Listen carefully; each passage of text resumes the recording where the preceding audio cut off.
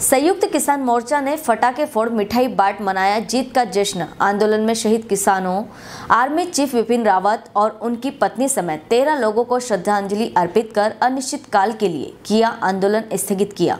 संयुक्त किसान मोर्चा की ओर से जिला प्रवक्ता राजेश पटेल ने बताया कि आज़ादी के बाद देश व शिवनी ज़िले के इतिहास में यह सबसे लंबे समय चलने वाला आंदोलन रहा, जो शिवनी में अनवरत 105 दिन व लखनवाड़ा थाना के जेतपुर कला में अनवरत बयासी दिन के बाद स्थगित किया गया है। तीन किसान बिल जो मोदी सरकार कोरोना महामारी के संकट काल में असंवैधानिक तरीके से लाई थी, इसे रद्द करने वापसी की लड़ाई में 750 से अधिक किसानों ने अपनी शहादत दी।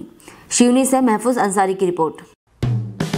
हेलो फ्रेंड्स आप देख रहे हैं हमारा channel S W twenty news हमारे सारे वीडियो सबसे पहले देखने के लिए आप हमारे चैनल को सब्सक्राइब करें और पास में लगे बेल आइकन को दबाना बिल्कुल भी ना भूलें।